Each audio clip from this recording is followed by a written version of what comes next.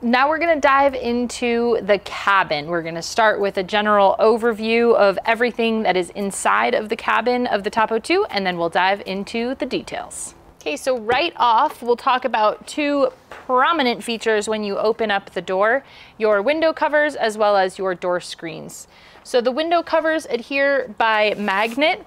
You just pull them off and line them back up um, these are blackout and insulated window covers, so this is a great way to maintain the interior cabin temperature, whether it's trying to, whether you're trying to keep it cool or trying to keep it hot. These are gonna, gonna come in really handy uh, and also, of course, provide a nice layer of privacy. Then you have your door screens. This door screen, again, uh, utilizes magnets along the edges to seal the uh, screen as you drop that down and get a nice seal along the entirety of your door. Uh, and then in order to roll those up and get them out of your way, you simply roll them up. Um, and then the magnets keep the whole rolled up screen out of the way. There's no additional strap or tie down that you need to do. So once you roll these up, you're good to go. And now we'll take a look inside. One of our favorite features inside the spacious cabin of the Topo 2 is the giant stargazer window. Uh, this window opens. Uh, it also comes standard with a shade and a screen. We'll show you how to install those. Um, they're very easy to put on and take off depending on whether or not you need them. Um, the screen can be left on separate from the shade if you want to have the screen on all the time. Um, but for starters, let's show you how to open up the Stargazer. So you'll notice these levers all around the outer perimeter. You're just gonna press that red lever, or sorry, red button in and then rotate the lever 90 degrees. You'll do that on all sides. And then you can push up in the center and you're just gonna twist the knobs on the struts on both sides of the window in order to vent the window and hold it open. So you can do this incrementally as much or as little as you need.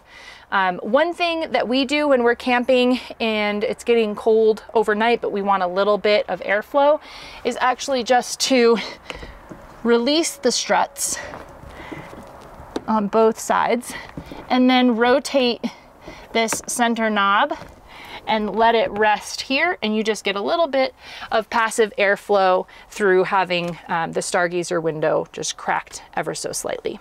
Now I'm going to show you how to install the screen for the stargazer window. The screen and the, the shade come standard with the Topo 2. Since the Stargazer is the primary source of ventilation, we wanted to make sure that it was usable in all conditions, no matter how many bugs you have where you live.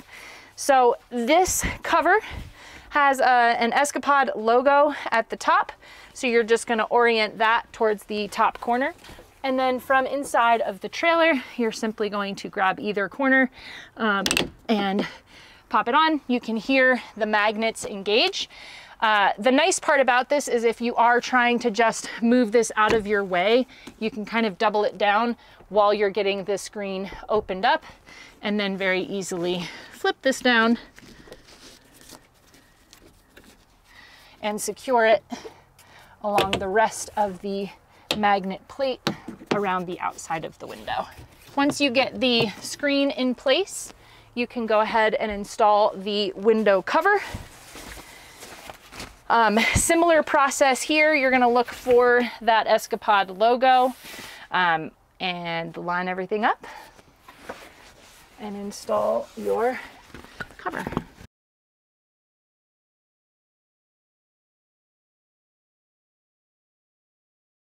There you have it. Now we're going to talk about all of the ample storage that you have inside of the Topo 2 cabin. For starters, we're going to talk about the headboard storage back here. There is a ton of space inside of this cubby. If you've watched some of our walkarounds, you've probably heard me say that my toddler loves hiding in here. You can fit easily five, two and a half year olds in this cubby. Not recommended, definitely not safe. Um, but It's extremely deep, so I don't know how deep we are here, probably eight inches deep inside of this cubby. It's a great place to stash away the Stargazer cover if you're not using that. Um, it's also really nice because it opens up, uh, has a split panel here, so you can access one side behind your head without disturbing your partner and vice versa. We also have storage underneath the nightstand. So in here, there's a nice little cubby underneath here. This is a great place to stash keys or eyeglasses, books, things that you want to kind of tuck away that are small that you don't want to get lost in the overall space of the cabin. And then we have the cubbies up top here. Now to use these, you're gonna press the knob in the center and pop out that knob and then you simply twist 90 degrees and this drops down. If you're wanting to hold this up to utilize the laptop stand here to watch a movie, you can swivel those over. Um, there are steel plates on the top of each of these panels that land on magnets inside here to keep those in place. You can put your laptop up here two shelves in each of the upper cabinets. Uh, they're very tall shelves, so you can't even see the full height on the cabinet on that upper shelf, but tons of storage in here.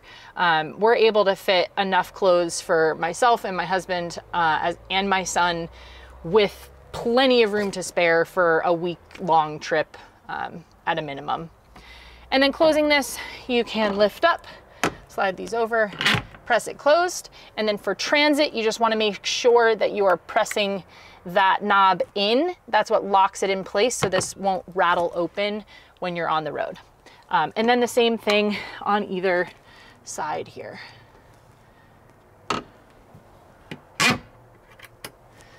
And then the lower cubbies as well. These are great for socks and underwear, that type of storage. And those close using magnets as well. And then you have your cubby on this side.